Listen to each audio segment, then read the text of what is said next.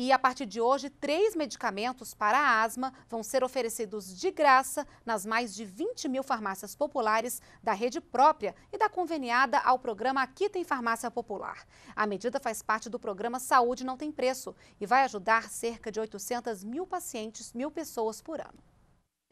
Sem tratamento, a vida de um paciente com asma pode ser mais difícil. Você tem falta de ar, você vai subir uma escada, você não pode correr. É não varrer a casa, é só passar um pano úmido no chão e nos móveis, é não ter tapete, carpete, cortina, bichos de pelúcia. A partir de agora, três medicamentos em dez tipos diferentes de dosagens já estão nas farmácias populares e nas unidades conveniadas ao programa Aqui Tem Farmácia Popular.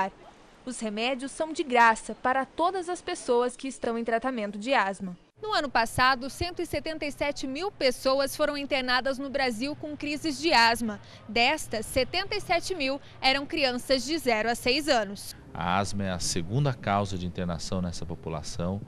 É, é, o esforço do Ministério da Saúde ao colocar o remédio de graça mais perto onde as pessoas vivem vai no sentido de reduzirmos as internações por asma nessa população, mas qualquer pessoa de qualquer faixa etária vai poder pegar o remédio de graça, porque nós vamos estender para todas as faixas etárias.